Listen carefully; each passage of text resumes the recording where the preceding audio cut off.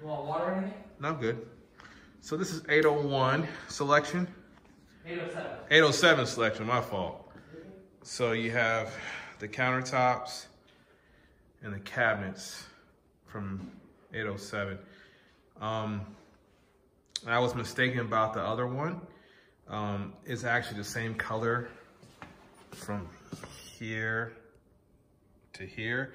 It just looks different because of the light, the way the light hits it from what he was telling me.